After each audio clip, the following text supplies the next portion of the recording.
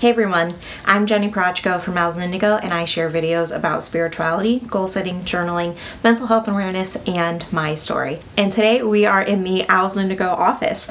I wanted to share with you how I set up my bullet journal as a content creator, as a blogger, and a YouTuber, and how I keep track of two businesses. I have two businesses. One is Owls and Indigo, and the other is a marketing consultancy that I share with my husband called My Pocket Marketing marketing. This is my bullet journal and I like to set it up to keep on track of my tasks for both businesses and I have it kind of tandem and you'll see that uh, in the journal once we get into it. So today I'm going to be sharing with you my ideal week and daily flow, also how I set up my quarterly rocks and use the EOS system and traction by Gino Wickman. I'll leave the book link down below in the description. How I keep track of my goals for each quarter and break them down into smaller, manageable things that I can do on a daily basis as work tasks. And then I also have something that is really unique. I have um, my content workflow here and some Dutch doors so I can check off multiple things for the different types of content that I do. And then also for the products in my shop so I can do some shop planning as well. So let's go ahead and get into my journal. So for my work bullet journal setup, I like to have a completely different section and I used to use a couple of different uh, notebooks for this, but this year I've got it all in one section. And this is my uh, work section in my bullet journal. my bullet journal looks like in the front. And then I have a little cover page here that says, work in a life you love and I'm thinking about putting the logos of my two companies here, uh, Owls and Indigo, and then My Pocket Marketing, which is a marketing consultancy firm that I share with my husband. After the cover page, I have my ideal week and my daily flow. And today I wanted to show you how I set these two spreads up. So I'm starting with my key down below here. I have logic, creative, rest, front stage and backstage. Front stage is where you do the work where you're up on stage that you're getting paid to do, and then backstage is the behind the scenes work like meeting prep and stuff like that.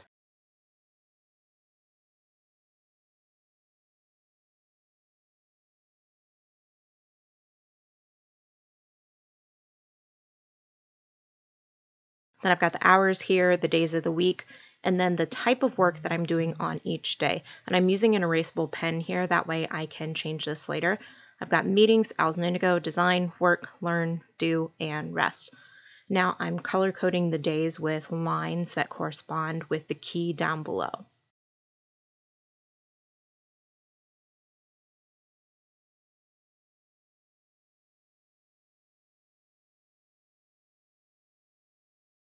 So ideally, I'd like to start my day with my WSR, which is my work startup routine at 8.30, and then begin actually working at 9.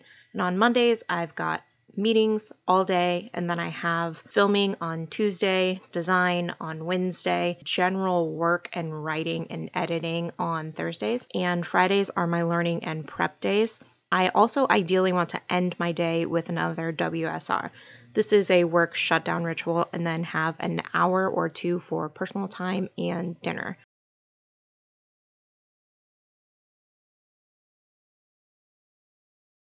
Then on the weekends here, I have some chores and then just some other personal things.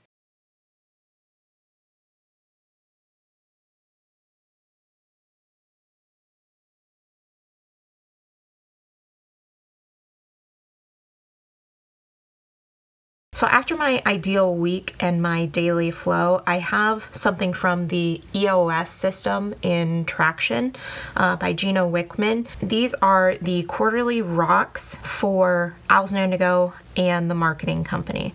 If you have a company, then I highly recommend checking out the book Traction. I will leave it up on the screen here and link down below.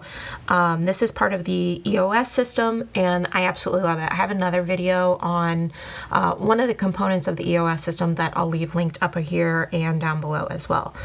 But this is part of the VTO, which is the Vision Traction Organizer from this system. So I have a side here for Owls Indigo and a side here for My Pocket Marketing. And I have this little booklet, if you will, inside of my bullet journal. All I did was I cut away the pages on the outside to create a Dutch door within my bullet journal. So these pages were already here. They were full pages like this one and like this one. I just cut away the border of it. So it looked like a little mini notebook in here. So for this spread, I have the quarterly rocks for both businesses. And then I also have a section for the core values, the core focus, the proven process for each business, and then also the promise and commitment and three uniques of the businesses. Next, I have my one year initiatives for both companies. I'll have Owls Indigo here and the marketing consulting firm on the other side. And then I have the quarterly rocks for Q1 for both businesses, Q2, Q3,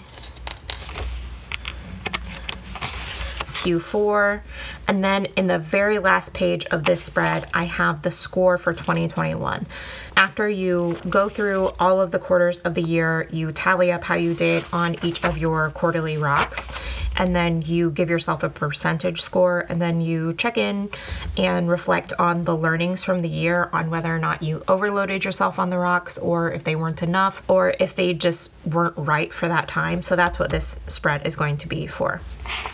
This spread is for my content workflow.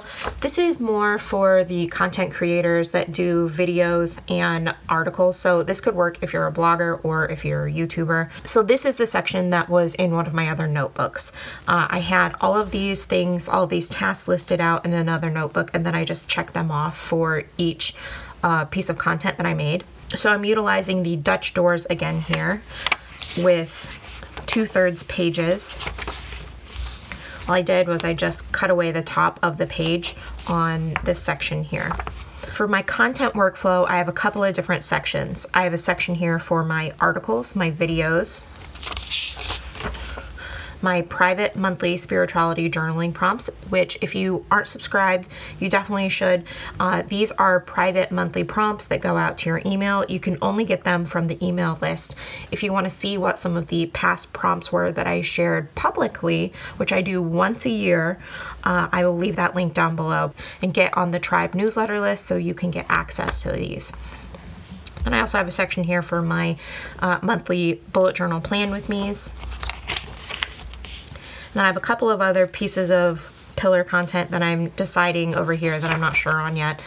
And then I have an other section for the other videos that don't really fit into any of the other categories that I have. So whenever I do a article or a video, my workflow is kind of similar. So I went ahead and put them all into one section for both. Uh, and you'll see that on some of these that I've already started to fill in, I don't do every single line that's here because not all of them pertain to the piece of content that I was creating, but it's pretty similar. So I left it all in one. So for my content workflow, first I outline, then I film or draft, then I shoot B-roll, edit, I do a voiceover. I make sure that the opt-in promo is included as well. I add any overlays or titles. Then I have a section here to check whether it's a YouTube video, IGTV, or a story. And then I have a section for making sure that I have thumbnails, video cards, a unique description, hashtags, and then right here I have whether or not the video has been scheduled or a piece of content has been scheduled and published. Moving on to the next page, I've got shoot photos, edit photos, and then this whole section is for articles specifically. So sometimes I have videos that don't have an article and then videos that do have an article along with them, which is why I included this whole section here. So for an article draft, I've got a section there to mark that off. And then within that, I've got a section for links and for social. In the links, I have internal links, affiliate links, link the video to the article, and then link the article to the video. And then for social, I've got layout images, write statuses, create the UTM codes, have images for Instagram, a story video, a story image, a highlight and then Facebook, make sure I share it to Facebook and any specialized groups, and then make sure it's shared to Pinterest. And then I have a section here for scheduling them because sometimes I don't do it live. Sometimes I do schedule these things out just to make it easier on myself, especially since I run two businesses and also have household chores and just taking care of myself in general and then also maintaining relationships. It's a lot. So I like to utilize scheduling. And then after those scheduled social posts for the businesses go live, I like to share them to my personal Instagram and my personal Facebook. And after that, I've got a little section here for the newsletter and whether or not it is done. And on the next spread, I have something that I'm still kind of working on. This is my content workflow for the shop. Uh, I have ideas for products and I'm still coming up with things that I want to do to see if the workflow actually works for me when I'm developing new products for the Owls and Indigo shop. If you haven't seen the Owls and Indigo shop, make sure you check it out. I have two products in there that are journals. They're super awesome and I would love for you to check them out. There's also winter items in there to keep you warm and cozy. There's a blanket, two mugs, and then six postcards. Six postcards. Um, and I absolutely love all of them. So check them out. You'll definitely find something for you and for those that you love so you can stay connected even though we're all apart. The two journals that are available in my shop right now are A Year of Spiritual Growth and Mindful Goal Setting 365 Mindfulness Journal Prompts by yours truly. This has been such a really great book. It is a nice, thick, hardbound book, and Here's a peek into what the journal looks like. There's daily prompts and then morning and evening check-ins. There's also a mid-year review, quarterly reviews, and an end of the year review and a visualization on how to actualize your dream day and what it actually looks like when you achieve your goals at the end of the road. So I think you'll absolutely love this. Check this out in my store. Uh, I'll leave the links down below. And the second is my daily tarot journal. I'm very, very excited about this. This is my daily tarot journal uncovering the art of the one card tarot reading. Now, this one is pretty unique. I teach you how to read tarot cards, how to get back on track if you miss a tarot card spread in your journal. And then in the journal, there is a monthly section for you to recreate your tarot card that you pulled every day for the month. This is based on one of my most popular bullet journal spreads that I absolutely love making. And this is what the spreads normally look like in my bullet journal right here. Since you all loved it so much, I wanted to create a journal that was specifically dedicated to the daily tarot draws so you could join in too. After that, there's a monthly log. And then beyond that, there is daily journaling prompts for each of the cards that you pull every day, and then there's an end of the month review as well. So if you love tarot and if you want to start journaling, you should definitely check out my second book, The Daily Tarot Journal, Uncovering the Art of the One Card Tarot Reading. So that is what I have going on in the shop. And then this is the last work spread that I have in my bullet journal. Then beyond that, we just hop into my monthly spread. So I use these spreads to help plan my workday and make sure I stay on top of my core values, core focus, and the things that make my businesses unique. And then the big projects for the quarters, which are quarterly rocks in the Traction EOS system. All of this relates back to my weekly spreads,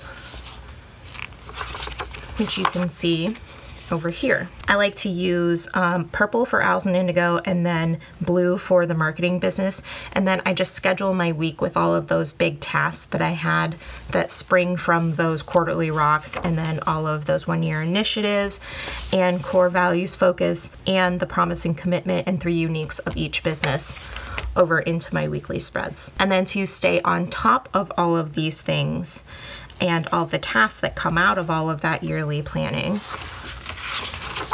I have a rolling task log. So what I do here is I write down the task and then I have a due date and then a section for the day of the week, whether or not there's a Trello card attached to it, which is a task scheduling platform that I use. It's super cool. You should check it out. I'll have it linked down below how much time it will take, and if it's a super duper important task. And so as my month goes on, these fill up, and I usually color code them with purple or blue depending on the business. And then if at the end of the month I've discovered that things didn't get done, I reassess whether or not they are super important and I need to finish them up at the end of the month before I can move on, or I move them forward with this little double arrow. So I'll just draw an arrow in this column here if I want to carry it forward into the next month. And that is how I set up my bullet journal for work.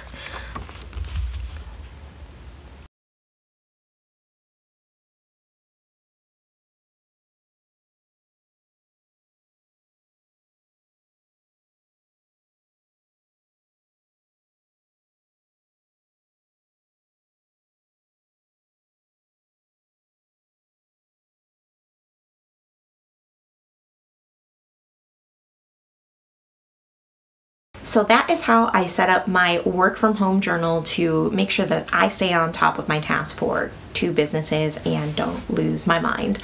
I hope you enjoyed this video today. If you did, make sure you like it and share it with someone who works from home as well. Uh, a lot of us are working from home right now. That has become the new reality. And make sure you check out my two books, my daily tarot journal and my year of spiritual growth and mindful goal setting. Right now they are 25% off. I will leave the link down below in the description. I'm so grateful that you chose to spend your time here with me today and I will see you in the next one. Bye.